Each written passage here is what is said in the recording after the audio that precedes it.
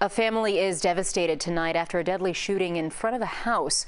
When we arrived on the scene, very emotional people were already gathered right by where the shooting happened.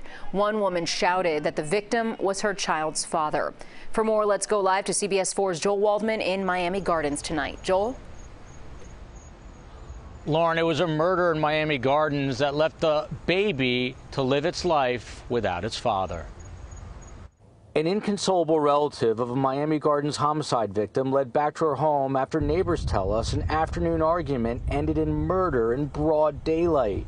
A neighbor who only wanted us to use her voice telling us she was surprised to come home to a murder on the street she's been living on for close to 30 years. We live quiet, we look out for each other, and we help raise each other kids. This is a nice, kind neighborhood. Neighbors say the man who was shot and killed was also the father of a young child. The dad reportedly got into a heated exchange with another man, that man pulling out a gun, firing at least one fatal shot. The woman who spoke to us off camera telling us only this about her neighbor who was killed. Those kind of people that's across the street, those are little young kids that's trying to live fast.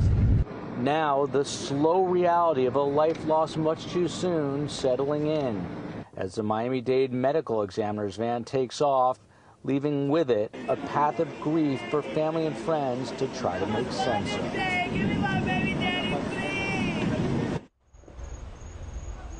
heart wrenching. And Miami Gardens police tonight tell us that the man who killed that young father is under arrest and in custody. Reporting live from Miami Gardens, Joel Waldman, CBS 4 News Tonight.